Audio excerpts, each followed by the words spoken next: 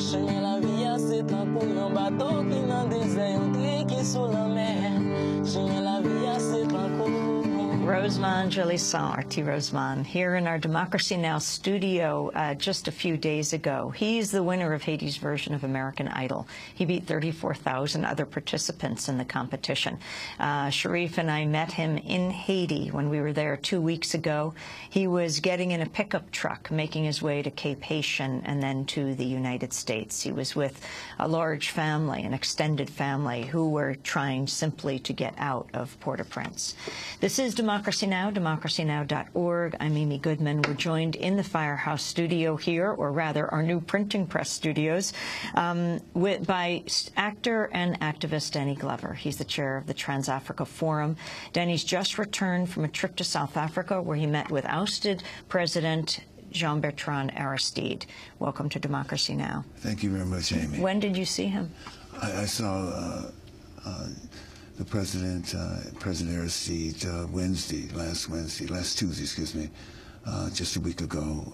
I was on a delegation to um, on a delegation in South Africa with a number of trade unionists, and we arranged to have a meeting with him, among other meetings that we had there in South Africa. Uh, he and, and, his wife Mildred.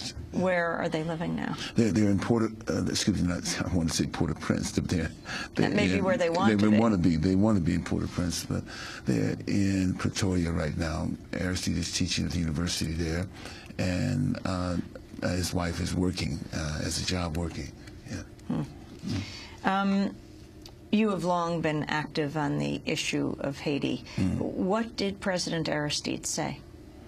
Well, the, the first thing that he certainly thanked those those members of the delegation for their concern about Haiti. I was there with George Gresham, who is the uh, president of uh, 1199, and there are more than 30,000 Haitians uh, in his union, and and they had donated a significant amount of money to the relief effort. He thanks, certainly was thankful for the attention drawn to that. Uh, uh, he was aware of all all the information, all the mishaps, and everything else. But I think his his concern was that that that he is not there with his people suffering and going through the suffering. He uh, certainly would, was uh, uh, anxious about that, of finding some role that he can play, some role that he can play, not only in the healing process that needs to be taking place, but also the reconstruction of Haiti as well. Mm. Mm. I wanted to go back for a moment to mm. the news conference that President Aristide um, had. It was two days after the earthquake. He yeah. held this news conference in South Africa, standing with his wife, mm. former First Lady Mildred Aristide. President Aristide said he wants to return mm. to Haiti. -hmm. As we all know, many people remain buried under tons of rubble and debris waiting to be rescued. When we think of their suffering, we feel deeply and profoundly that we should be there in Haiti with them, trying our best to prevent death. As far as we are concerned, we are ready to live today, tomorrow, at any time. Join the people of Haiti to share in their suffering, help rebuild the country, moving from misery to poverty with dignity. The spirit of Ubuntu that once led Haiti to emerge as the first independent black nation in 1804, helped Venezuela, Colombia, and Ecuador attain liberty,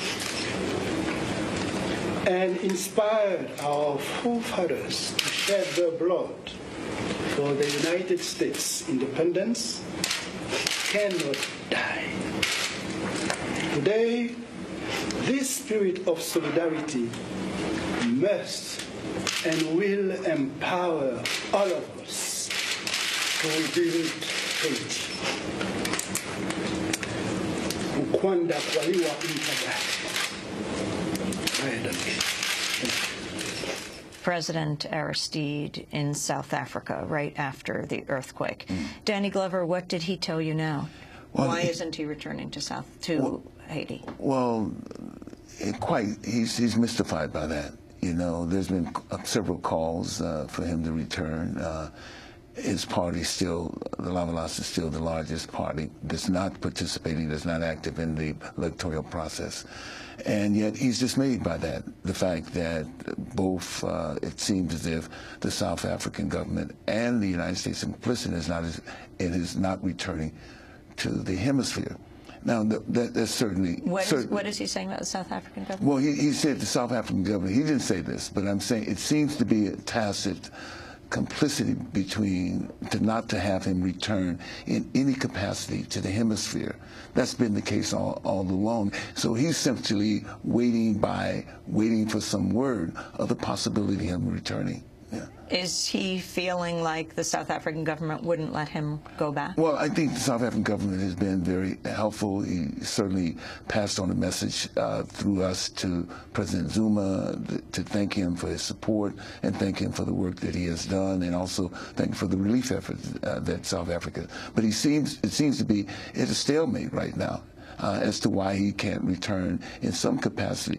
Wouldn't it be wouldn't it be, I think, appropriate for him to be uh, there at this particular moment as the Haitians go through this suffering, but also to be in some capacity work with the uh, the reconstruction of Haiti as well? You know, uh, we know that that at some point there has to be some some unifying force. The, the government has been devastated by this. Uh, the government also only receives a small portion.